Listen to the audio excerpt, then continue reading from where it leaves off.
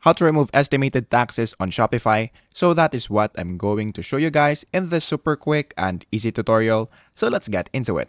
So the first thing that we need to do is to of course go here on our Shopify store and then make sure that you are logged in into your account.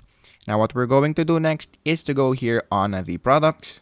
And then once you click products right there, just look for the product wherein you want to remove the estimated taxes. So let's click that product right there. And then once you're now here, just scroll down right here and then you will see this uh, under the pricing, you will see the charge tax on this product. So if there's a check mark right there, all you have to do is to deselect it and then click save. Now, however, if you want to disable it on all of your products right there, then the next thing that we need to do is to go here on the settings. So just click the settings right there and then on the taxes and duties, click that right there. And then once you're now here, all you have to do is to scroll down right there and then in this part, you will see this global settings. Now, all you have to do is to just, of course, deselect all of this also. And then once you're now done with this, just click save.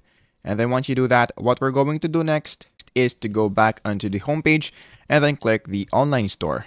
Now, in this part, what we're going to do is to click this three dots and then click edit default theme content. And then in this part, all you have to do is to click the search button right here and then just search for tax. Now, if you want to change some taxes right there, so if let's say for example, just you want to add tax free. Now let's say for example, you want to change it into that, then all you have to do is to change it right here and then click the save button. Now, once you do that, of course, the estimated taxes will now be removed from your Shopify store. So that is basically it. That is how to remove estimated taxes on Shopify.